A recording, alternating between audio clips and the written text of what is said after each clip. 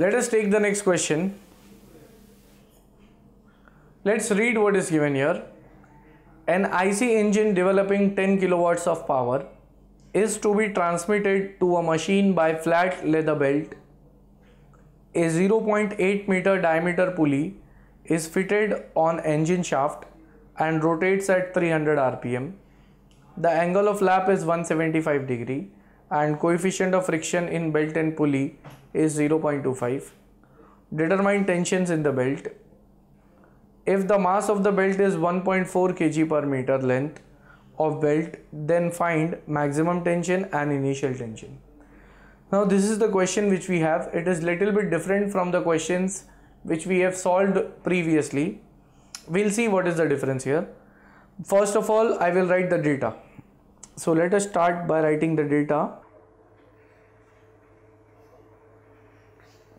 It is given an IC engine developing 10 kilowatts of power. Power is 10 kilowatts. So it is 10 into 10 raised to 3 watts. Is to be transmitted to a machine by flat leather belt. A 0.8 diameter pulley is fitted on engine shaft. So the diameter of pulley is 0.8 meter and rotates at 300 rpm. Speed is also given. The angle of lap is 175 degree theta. It is 175 degrees. So I'll multiply it by pi divided by 180. So I get theta as 3.05 radians. Next and coefficient of friction in belt and pulley is 0.25 so mu is equal to 0.25 determine tensions in the belt. It means we have to calculate how much are the values of T1 and T2 that is the first question. Next if the mass of the belt is 1.4 kg per meter mass is 1.4 kg per meter length of belt then find maximum tension and initial tension.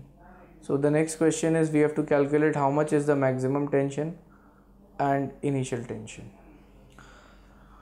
So now this is the data which we have. Let's try to get the solution for this. The first question is we have to calculate initial you can say tension in tight side and tension in slack side. So i'll start with this that is since power transmitted by belt drive is given by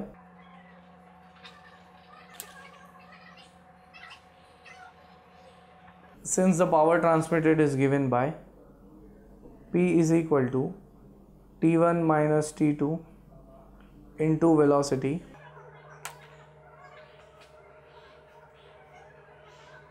I will keep this as equation number 1 now I need to know what are T1 and T2 values because that is the question power is given and velocity we have to calculate. So first I'll start with the velocity part. I'll say that therefore velocity of belt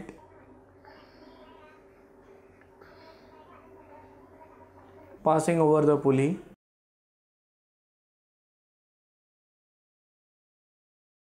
the velocity of belt v it will be equal to pi d n upon 60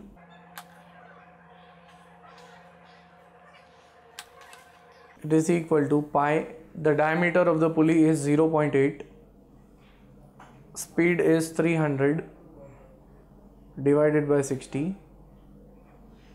so from this velocity v comes out to be 12.57 meter per second. Next after getting the velocity I will use the belt tension ratio formula.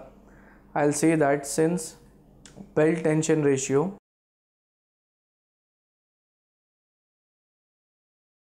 it is T1 upon T2 is equal to e raised to mu theta.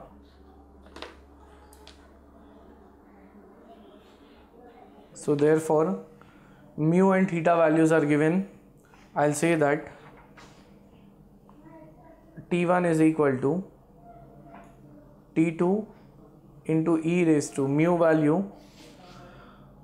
It is 0.25 and theta it's 3.05 so from this I will get T1 is equal to 2.14 into T2 now I will say that put all values in equation number 1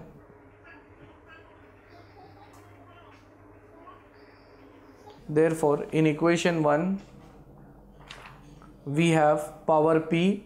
Power is given as 10 into 10 raised to 3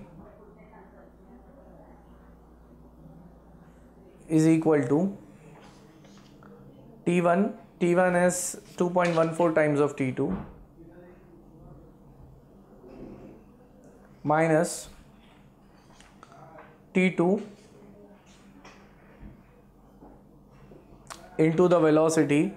Velocity is 12.57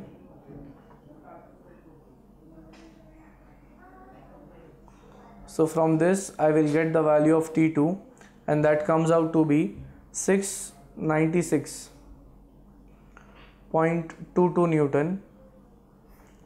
Now this T2 value I'll put in this relation which is I'll say equation number 2 so put T2 in equation 2 therefore t1 is equal to 2.14 into t2 is 696.22 so from this I will get t1 it is 1491.99 which is almost you can say equal to 1492 newton.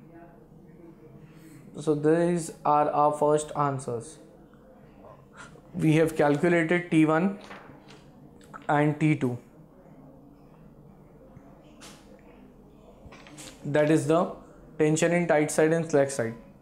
Now they are telling us to calculate maximum tension and initial tension so for that I'll say that now whenever they are saying to calculate maximum tension in that what we have to do since mass is given using the concept of mass and velocity I will calculate centrifugal tension. I'll say that since centrifugal tension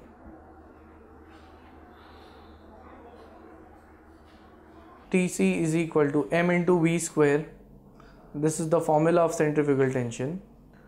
So therefore m is given as 1.4 velocity is 10.57 whole square. So from this I will get centrifugal tension as 221.07 Newton.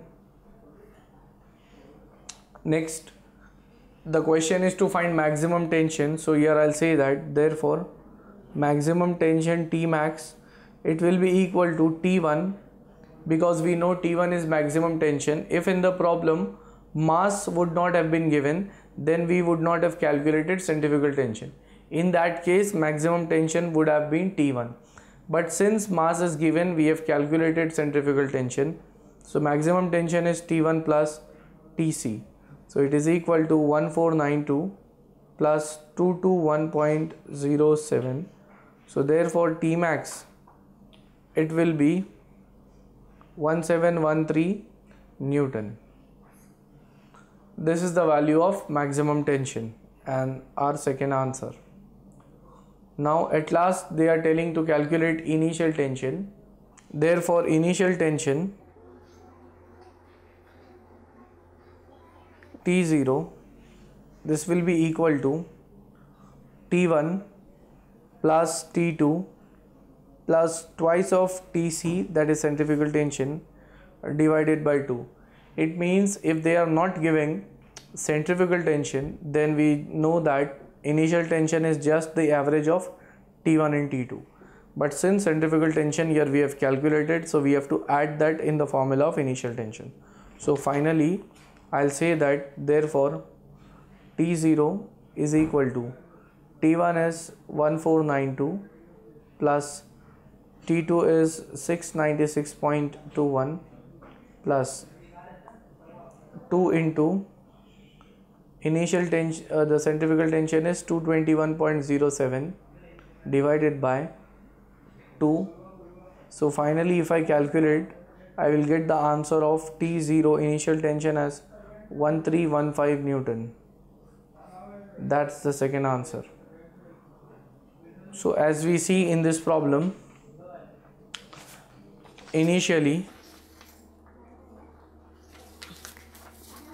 the question was we have to calculate the tensions in the belt. So T1 value we have calculated